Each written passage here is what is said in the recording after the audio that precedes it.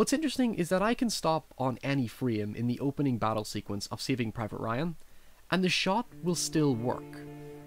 Have yourself some weapons! Follow me!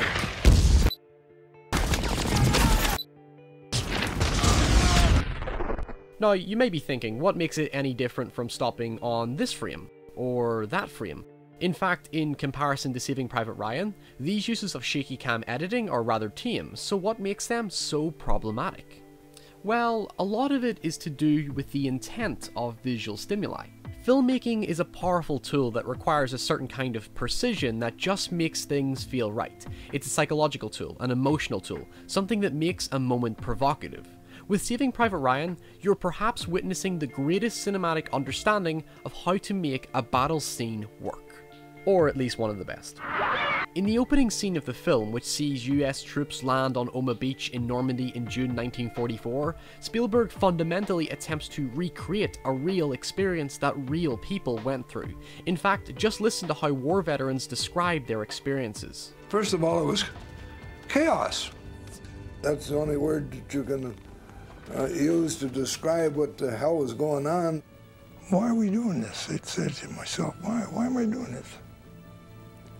You dig a hole and try to get below the, the firing squad and all that. And closer you get to the ground, the longer you're going to live. That was my motto, anyhow.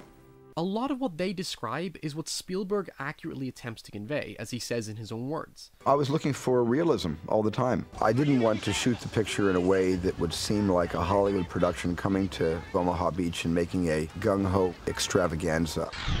Right there, Spielberg effectively summarizes our discontent with many modern battle sequences. For example, if we were to analyze the opening shootout of Jonathan Liebesman's Battle Los Angeles, cinematically it kinda works, but visually it doesn't. Liebesman is guilty of this Hollywood extravaganza. The intent of Battle LA appears to be more about achieving spectacle than reinforcing the emotions of disorientation and vulnerability. Its cuts are menacingly abrupt and devoid of a coherent continuity which disengages the audience from reading the scene, that takes direct influence from Saving Private Ryan. The intent might be deliberate, but the effect doesn't translate onto the screen because whereas Saving Private Ryan makes sense of its chaos, Battle LA simply gives us nothing provocative to look at or feel. Also, look at this scene from The Hunger Games. The intent is not spectacle, but rather to create dramatic suspense.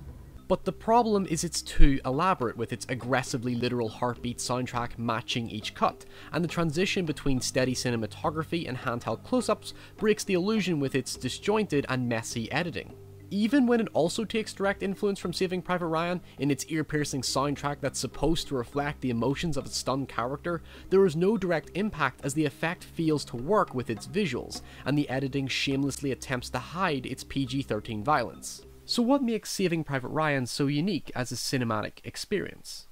This is Robert Capa, a Hungarian war photojournalist who was on the beaches of Normandy in 1944. Of course, while Spielberg was able to consult with real people firsthand, Capa presented Spielberg with a much more direct visual representation. Now, Robert Capa couldn't share his real experiences given that he tragically stepped on a landmine a decade shy of Omaha Beach, but what he left behind were 11 photographs off that very day. This was a collection that was known as the Magnificent Eleven. Capa took a total of 106 pictures of Omaha Beach, but only 11 survived the printing process. These 11 photographs, despite not being diligently selected, reinforce Capa's emotional experience in a visual context. It's these two photos that stand out for me. Now, one could question why these photos are regarded of such quality. They lack composure, visual articulation, depth of field, and are too blurry and grainy to be considered respectful pieces of traditional photography. But when you're trying to avoid being shot in the face, these photos become a lot more poignant. There is a fierce and ferocious energy to them. The blurriness reinforces chaos and disorientation, and the graininess helps convey the sandy, dirty, and uncomfortable environment. These photos look like they're from a point of view, they feel personal and from a legitimate perspective. As a photojournalist, Robert Capa is attempting to capture real life in its natural, undisturbed form. As Spielberg stated, if done correctly, visuals should capture the sights, sounds, and smells of an event, and with his collaborating partners including cinematographer Janusz Kaminski and editor Michael Kahn, the three of them artfully and profoundly recreate war with faithful authenticity.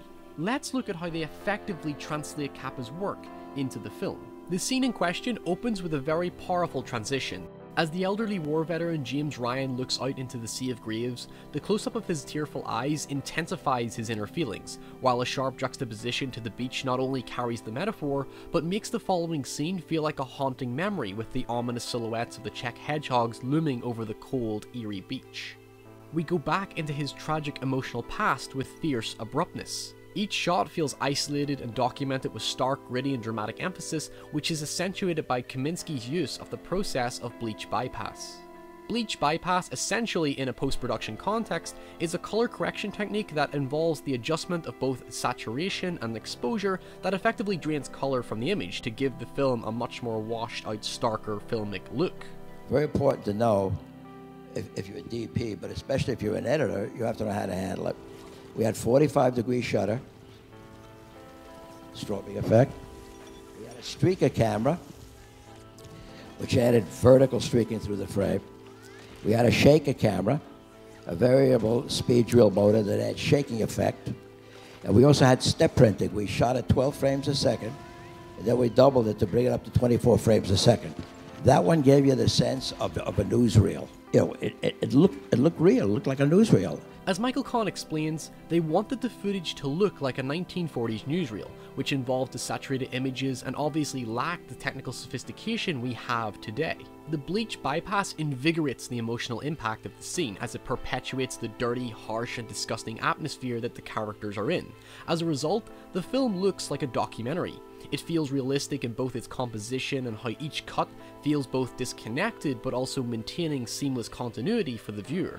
There's something very gloomy and metallic about the colours which helps heighten the morbidity of war. This is not a fun or happy place to be. It's savage, unflinching and cruel, and the film's depressing tone helps elevate the feelings of the characters in their dire situation.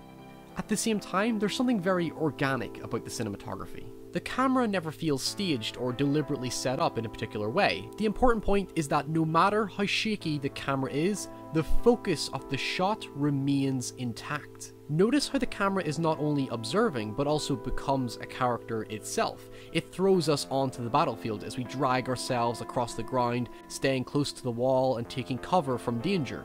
The film also breaks the fourth wall for dramatic effect, with the blood, water, and dirt hitting the lens that feels naturally seamless within the scene.